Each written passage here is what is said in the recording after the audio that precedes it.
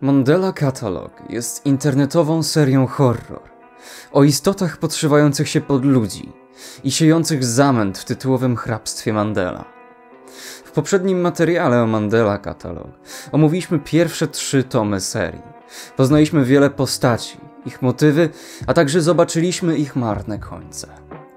Wielu z Was prosiło mnie o omówienie tomu czwartego Mandela Katalog i kontynuowanie tej historii, dlatego dziś zajmiemy się właśnie tym. A we wszystkim z tej strony Pio, a przed Wami Mandela Katalog. Tom czwarty. Tom czwarty Mandela Katalog jest drugim odcinkiem w akcie drugim serii. Na akt pierwszy składały się pierwsze trzy tomy, a akt drugi rozpoczął omówiony wcześniej odcinek Interlude. W nim to widzieliśmy, jak populacja hrabstwa Mandela spada w ciągu 20 lat z 15 tysięcy do zaledwie 1 tysiąca mieszkańców, a także poznaliśmy imię jednego z alternatów grasujących po Mandeli.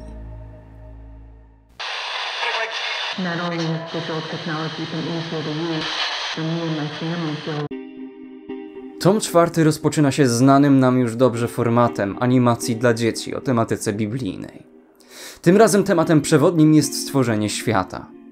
Narrator opowiada nam uproszczoną wersję historii z Księgi Rodzaju, po kolei mówiąc o każdym dniu, w którym Bóg stworzył świat.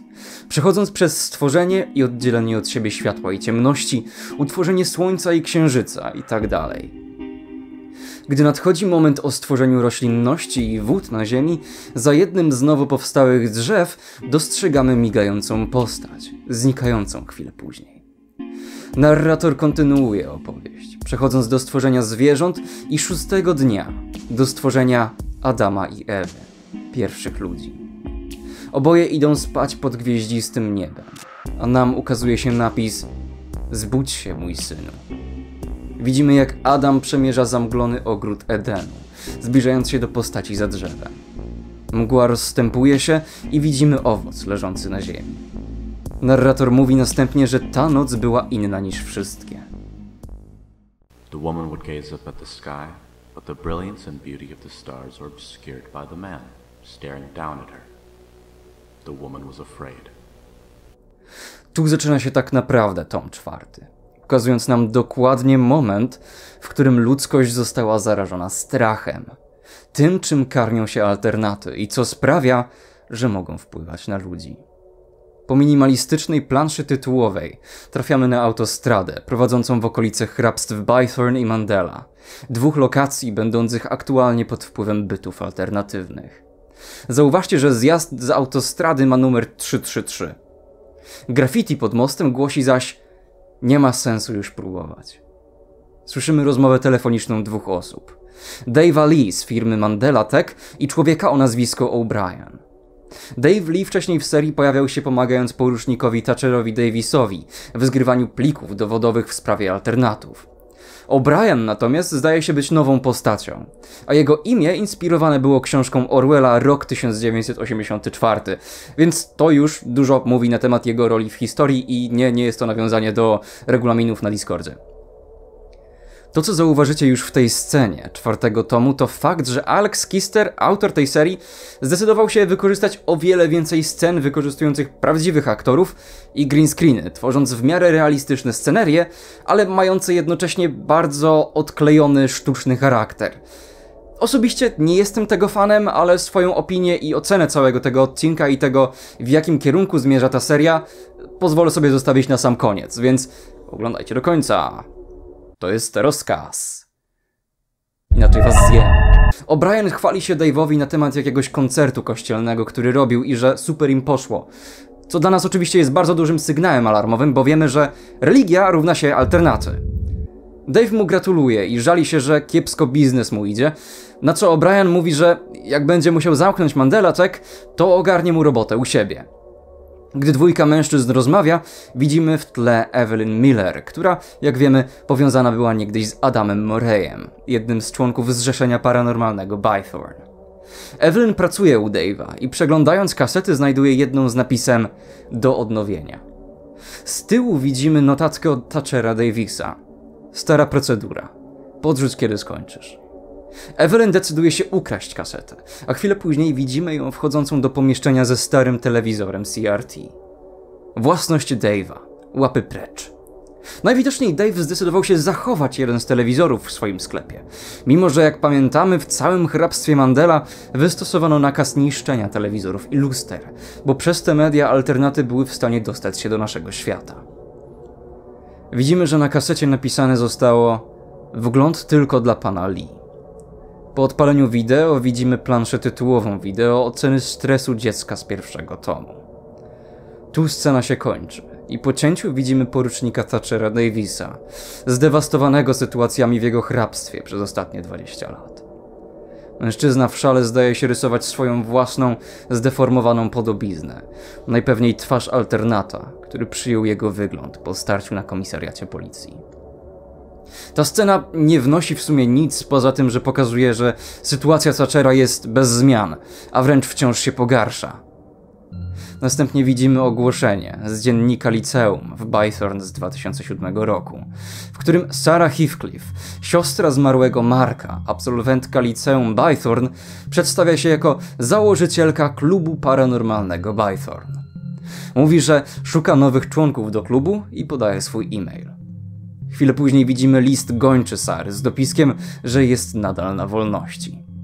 To jest w sumie minimalnym zaskoczeniem, bo spodziewać by się można, że to Adam i Johna założyli zrzeszenie paranormalne, a tu okazuje się, że to w rzeczywistości Sara rozpoczęła ten projekt jako szkolny klub.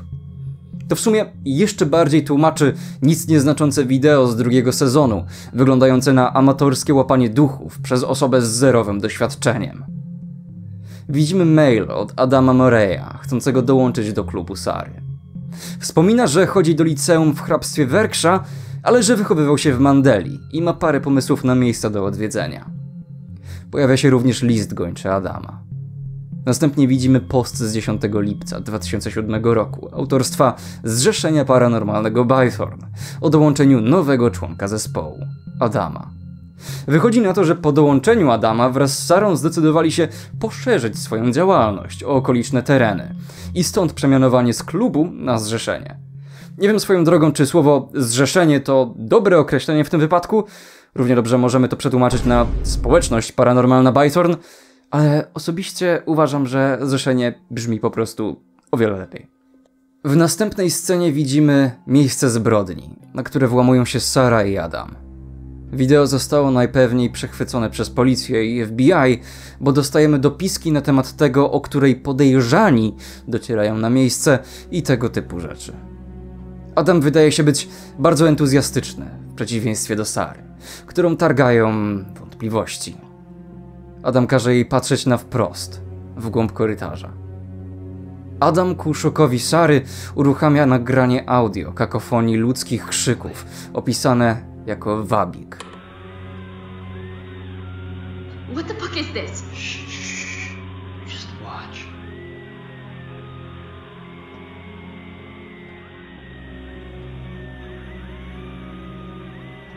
Po paru chwilach otwierają się drzwi, a z pokojów po obu stronach korytarza wysuwa się wiele ludzkich ram. Sara krzyczy, żeby stąd wyszli i tak też robią. 49 minut po północy 14 lipca. Wracając autem, poirytowana Sara mówi, że nie chce nawet patrzeć na to wideo i że jeśli Adam chce robić tego typu wyprawy, to musi sobie znaleźć innego partnera, a ona będzie zajmować się całą resztą. Jest to nawiązanie do tego, że w przyszłości rolę tą będzie spełniać Johna Marshall, a także do tego, co wydarzyło się z nim dwa lata później.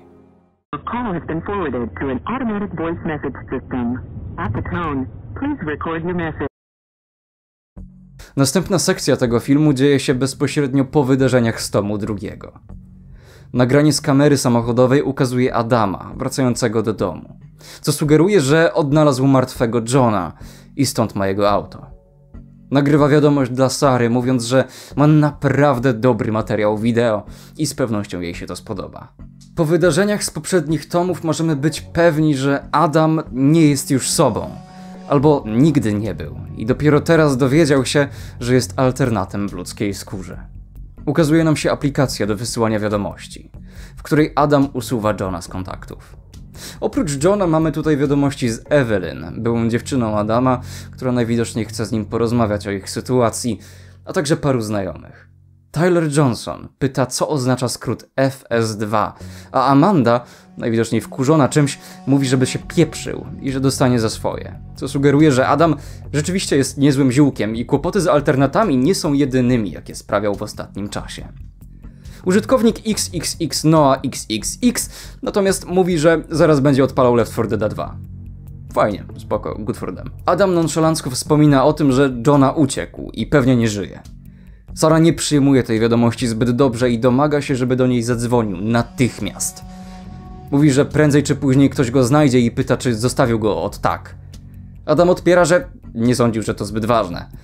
Próbuje zrobić z siebie ofiarę i wybielić, mówiąc, że hej, przynajmniej ma genialne nagrania, ale Sara tego nie kupuje. Szukając wyjścia z kłótni, Sara każe mu przygotować wideo pożegnalne dla Johna, żeby wytłumaczyć się ich widzom. Adam bez odpowiedzi rozłącza się, a na odchodnym Sara pisze mu, że nic dziwnego, że Evelyn go zostawiła. Powracamy do perspektywy Thatchera. Rozmyśla nadal nad wydarzeniami sprzed 17 lat. Rodziny w żałobie, a on nie może nic z tym zrobić, bo sam jest ofiarą. Widzimy spadkowy trend w liczebności populacji hrabstwa, tonę zgłoszeń o zaginionych osobach. Boli go sumienie z powodu tego, że prawie dwie dekady wcześniej w domu Marejów uciekł przed alternatem, zostawiając swoją partnerkę, Ruth Weaver, na śmierć. Nie czuje jednak strachu, a wściekłość i ból. Zdaje się, że zamknął się w domu i kończy mu się jedzenie. Gdy kładzie się spać, coś obserwuje go z garderoby. Ledwo widoczna, szeroko uśmiechnięta twarz potwora, który za nim podążył do domu. W międzyczasie okazuje się, że Dave odkrył, że Evelyn ukradła jedną z jego taśm i wykorzystała jego telewizor. Dziewczyna pyta, czy ją zwalnia, na co ten odpiera, że nie, nie. Sugeruje, że zwija się z biznesem na amen. Evelyn błaga go o to, żeby pozwolił jej zachować pracę. Dave, nieugięty, mówi, że szepnie o niej dobre słowo staremu przyjacielowi, który pracował na komisariacie. I nie wiem, czy to jest sugestia, że Thatcher już nie sprawuje swojej funkcji? Nie mam pojęcia, jaki jest jego obecny stan na rynku pracy i wydaje mi się, że to nie było nigdzie jasno zakomunikowane. W każdym razie, zanim się żegnają, Evelyn pyta jeszcze, czemu Dave zachował stary telewizor w schowku i po co mu on. Mężczyzna bez słowa się rozłącza. Słyszymy, jak Lee wybiera numer do O'Briana i mówi mu, że przemyślał jego ofertę pracy w kościele.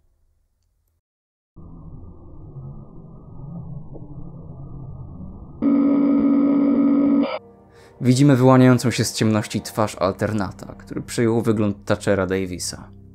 Ogłasza, że nastąpiła pomyłka. Jest bezpiecznie i odwołuje wszystkie jednostki. Następnie uśmiecha się nienaturalnie. Słyszymy monolog alternata, bezpośrednio odzywającego się do mężczyzny, pytając go, czy boi się własnego odbicia w lustrze. Mówiąc, że nie jest w stanie nic zmienić i nikt go nie potrzebuje. Mówi, że jest tylko przerażonym chłopcem z pistoletem. Brzmi znajomo? Po tych słowach widzimy na chwilę zaznaczony pokój Marka Heathcliffa, który popełnił samobójstwo, zamknięty w domu z alternatem. Czyżby podobny los miał czekać Davisa?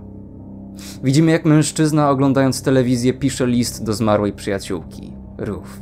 Mówi, że przejeżdża obok tego domu, próbując poradzić sobie z tym, co się stało. Mówi, że ominęło jej sporo dobrych filmów i muzyki i rozkleja się, bo nie znajdzie już nigdy kogoś takiego jak ona. Chwilę później przyjmujemy perspektywę Sary. Wymusza ona na Adamie wysłanie filmu pożegnalnego dla Johna. To chyba jednak nie było to, czego się spodziewała, bo film trwa parę sekund i jest całkowicie zniekształcony. Adam mówi, że po prostu wysłał zły plik i żeby Sara się uspokoiła, bo dramatyzuje. Drugi plik jest już lepszy. Specjalne ogłoszenie w sprawie Johna Marshalla. Pamiętajcie, żeby ocenić na 5 gwiazdek i zasubskrybować. BPS to prawdziwi youtuberzy. Adam nagrywa ładną przemowę, jednak w połowie urywa się ona, ukazując nagranie z domu kociary oraz narysowany obrazek przedstawiający alternata głosiciela, a raczej posłańca, jak nazwano go we wcześniejszym odcinku. Pojawia się data narodzin i śmierci Johna, ale chwilę później zamiast jego twarzy widzimy twarz Evelyn i nagranie z akt policyjnych hrabstwa Mandela, które dostępne było na stronie Mandela Police. Evelyn zeznaje w nim na temat Adama i jego działalności, a także ich relacji. Słyszymy, jak Adam, spanikowany, Krzyczy do komputera, że to nie jego słowa i że to przez komputer. A zaraz po tym alternat zdaje się powtarzać słowo w słowo to, co mówił chłopak. W ramce, tam gdzie powinna być twarz Johna, widzimy nagranie z kamery samochodowej z momentu jego śmierci. Stupid. I never said that. The computer, I swear. Messing with my words. I'm not stupid, alright? I don't know what you're messing with my words. I never said that. Shut the fuck up! I never said that. Messing with my words. I've had enough of you! Messing with my words. I never said Please, that. just get the fuck out of my head! Wideo urywa się wśród krzyków Adama.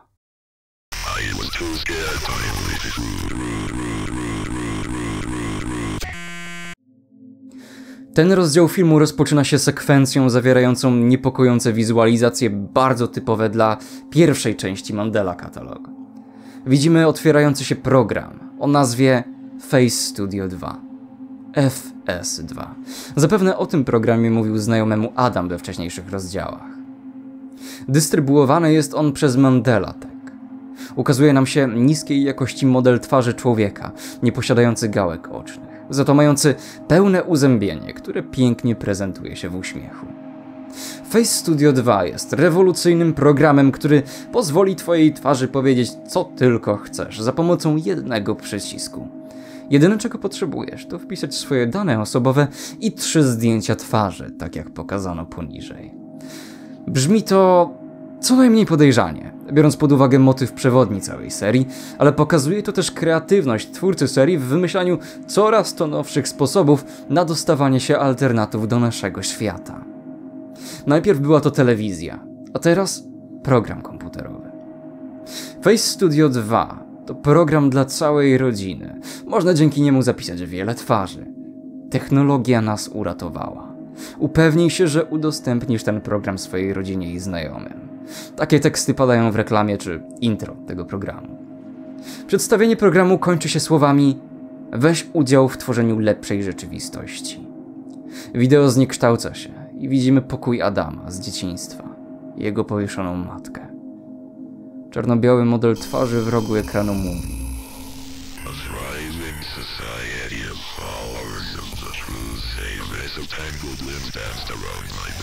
a held my breath and waited for it to stop. I was too scared my relationship.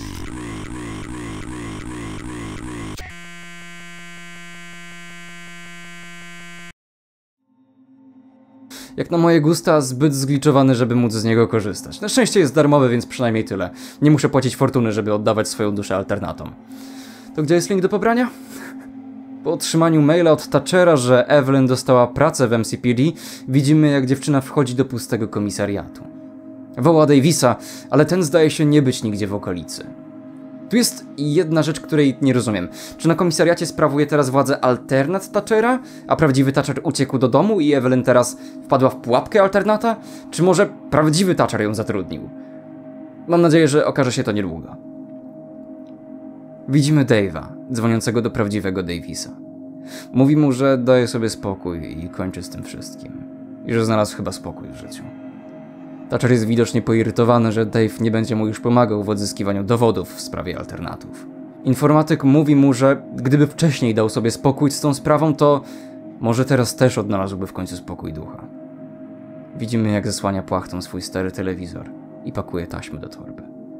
Na odchodnym radzi porucznikowi, żeby znalazł sobie nowy cel w życiu.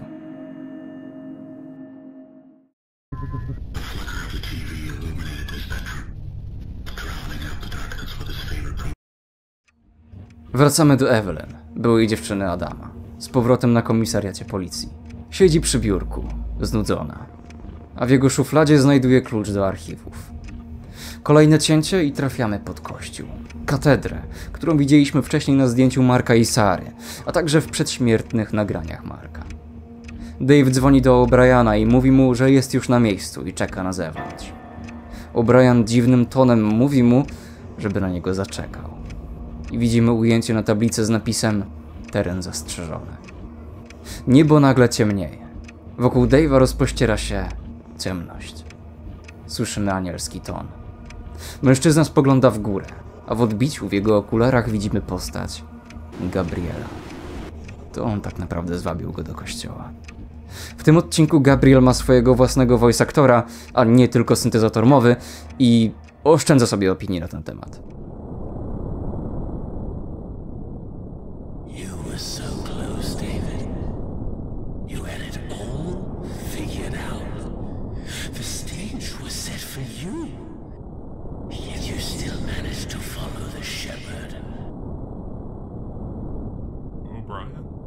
Tak, debilu to O'Brien, geniusz roku, brawo! I nie tylko ja to zauważam, bo Gabriel również wyzywa Dave'a od głupców i mówi, że jego egzystencja nic nie znaczy.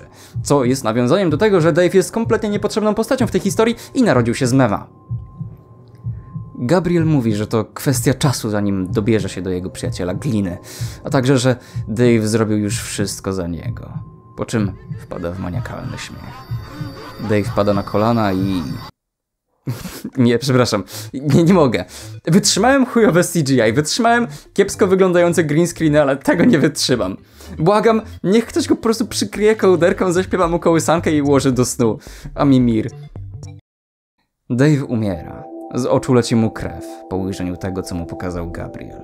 I tu kończy się scena. Evelyn wchodzi do archiwów. Odnajduje szufladę, w której są pliki tyczące się rodziny Marejów i zaczyna je przeglądać. Jednym z dokumentów są papiery rozwodowe Jude i Lynn Murray, rodziców Adama. Drugim zaś ocena stresu dziecka. Okazuje się, że Adam nie reagował na żaden z bodźców z wideo, co według doktora Williamsona może być albo powodowane brakiem podstawowych zdolności intelektualnych, albo niedawnym fenomenem występującym u dzieci w jego wieku. Widzimy ujęcie na to, jak ktoś wyłącza prąd w całym komisariacie. Słyszymy alarm. Evelyn ostrożnie wychyla się z pokoju archiwów, a nad jej głową widzimy wysuwające się ramię. Czy Evelyn nie żyje? Została zabita przez alternata Thatchera? A może przez szóstkę? Nie wiem, dowiemy się pewnie następnym razem. Szczerze, w tym momencie dużej różnicy to nie zrobi. Wracamy do perspektywy Adama. Widzimy, że Sara się do niego dobija, próbując dopytać się, co on odwalił z tym filmem pożegnalnym dla Johna.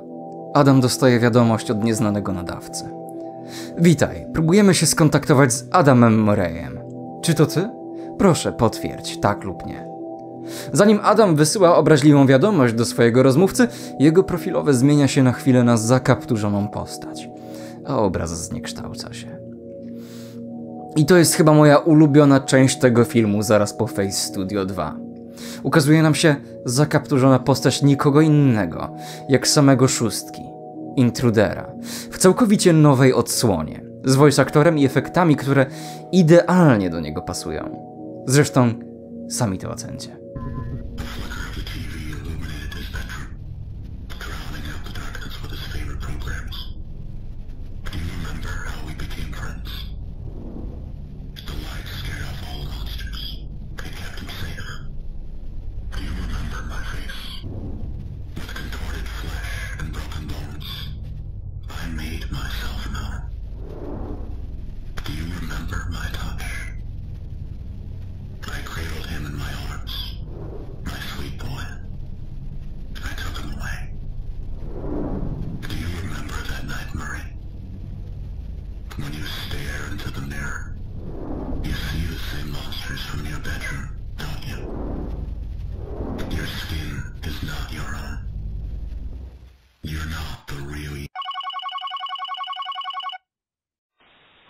On, Adam?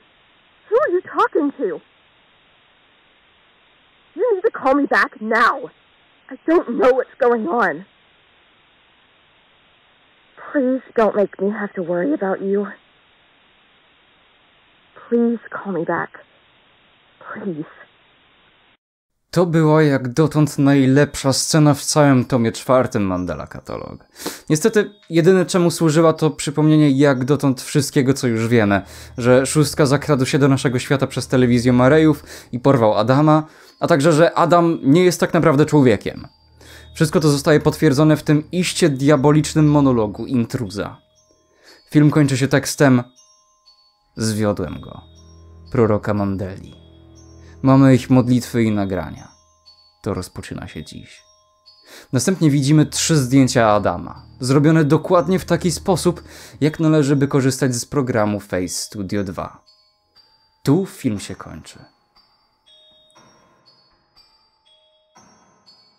Tom czwarty katalogu Mandeli nadal skupia się na eskalacji sytuacji, w której znaleźli się nasi główni bohaterowie. Dostaliśmy parę odpowiedzi na wcześniej postawione pytania i dostaliśmy kilka nowych, ciekawych elementów okładanki, które mogą przyczynić się do naprawdę bardzo fajnego rozwoju fabuły. Jednak osobiście totalnie mi się nie podobał ten tom. Trochę tak jak w przypadku tomu trzeciego, który bardziej skupiał się na Thatcherze, uważam, że zawartość i treść tego odcinka nie usprawiedliwiają tego, jak długi jest. Wiem, że Alex stara się teraz ująć tę historię bardziej filmowym okiem, ale niektóre te segmenty mogłyby stanowić na spokojnie osobne filmy, jak choćby ten Space Studio 2. Mandela katalog coraz mniej przypomina ARG, a coraz bardziej niskobudżetowy film studencki, co nie jest złym kierunkiem, ale na pewno nie tego się spodziewałem po raz pierwszy uruchamiając wideo z tomem pierwszym tej serii. Idąc tym tropem, coraz mniej analogu w tym analog horrorze. Historia nie jest już opowiadana poprzez materiały archiwalne i dokumenty, a przez realne sceny z ludźmi. Częściej niż nie wygląda to po prostu śmiesznie niż przerażająco. Mimo, że jestem zaangażowany w historię, to klimat i imersja zanika, kiedy widzę sceny tego typu. Plus, nawet nie wspominajcie mi o samej postaci Dave'a, bo to jest największy grzech tego tomu. Dave był memiczną postacią w Mandela Tech, odnawiającym kasety dla Davisa. Teraz jednak dostał pełną rolę. Znowu graną przez Alexa Kistera, autora serii. Został dodany w tym odcinku tylko po to, żeby zginąć i popchnąć Evelyn do pracy w policji, co mogła w sumie zrobić sama z siebie. Większość postaci w tej części jest albo zmarnowana, albo nadużywana. Według mnie za mało skupiliśmy się na przykład na Evelyn, a za dużo na postaci Adama, który już miał okazję zabłysnąć i pokazać swoją postać we wcześniejszym tomie. A teraz tylko bardziej potwierdza się, jakim psycholem jest. Ale Thatcher, Thatcher jest najbardziej zmarnowaną postacią ze wszystkich póki co i już szczerze wolałbym, żeby jego scen po prostu tutaj nie było, albo żeby były ograniczone do jednej sceny ze straszakiem z garderoby, bo to było fajne. Thatcher jest aktualnie w letargu i służy tylko do monologowania o tym, jak jest mu źle i niedobrze, bo nie uratował Weaver. Ale to już było wcześniej, zarówno w Everyday Gets Brighter, jak i w przemyśleniach Thatchera na stronie policji Mandeli. Mam wrażenie, jakby Alex porozstawiał gigantyczne, piękne pionki szachowe na planszy, tylko po to, żeby potem kręcić nimi w kółko i nie ruszać do przodu. Straszaki tego tomu nie były takie złe, ale na pewno w paru miejscach Alex powinien wziąć poprawki na przyszłość. Stary dobry schemat się sprawdza i jak zwykle niepokojące twarze rodem z Doliny Niesamowitości sprawiają się idealnie. Czy to w garderobie Davisa, w Face Studio, czy Intruder, to są według mnie najlepsze creepy momenty tego odcinka. Wychylające się ręce już trochę mniej, ale rozumiem zamysł. Na plus w tym tomie mamy oczywiście oryginalną muzykę robioną przez Storna Bakera, odtwórcę roli Thatchera, a także tego, że cała historia po prostu ładnie się spina. Wszystko wynika z siebie po kolei, mamy zachowany ciąg przyczynowo-skutkowy i mimo, że jest mało angażujący, to po prostu mało, po prostu ma sens. Czekam z niecierpliwością na kolejny tom, ale jednocześnie nie nastawiam się na to, że wrócimy do korzeni tej serii. Tym bardziej, że Alex ma w planach zrobienie remake'u tomu pierwszego i pewnie usunięcie oryginału, co według mnie jest tragicznym posunięciem. Tom pierwszy słynie właśnie z tego, że wygląda bardzo surowo, straszaki trafiają, bo są proste i niepokojące i to po prostu działa i tyle. Rozumiem chęć Alexa, żeby kreować tę historię jako coś swojego i jako realizację swoich marzeń pod kątem tworzenia filmowej historii, ale trzeba przy tym pamiętać, za co widzowie pokochali jego serię. Oczywiście to tylko moje luźne przemyślenia, nie uważam bynajmniej tej serii za tragiczną. Też muszę się odnieść do jednej z moich teorii w poprzednim odcinku co do mimików i innych typów alternatów w serii. Zapomnijcie o tym. Alex całkowicie usunął te ze swoich planów i koncept mimików i innych alternatów nie jest kontynuowany nijak, więc ta teoria odpada. Natomiast koncept tulp został pociągnięty do ekstremum, jak widzimy na przykładzie szóstki, intruza. Teraz nic tylko czekać na kolejną odsłonę serii. Dajcie znać w komentarzach, co sądzicie o tym tomie, zostawcie łapkę w górę, jeśli ten film wam się podobał i serdeczne dzięki za oglądanie do końca, szczególnie wielkie dzięki dla wspierających kanał. To był tom czwarty Mandela Katalog, ja jestem Pio, do zobaczenia kiedyś.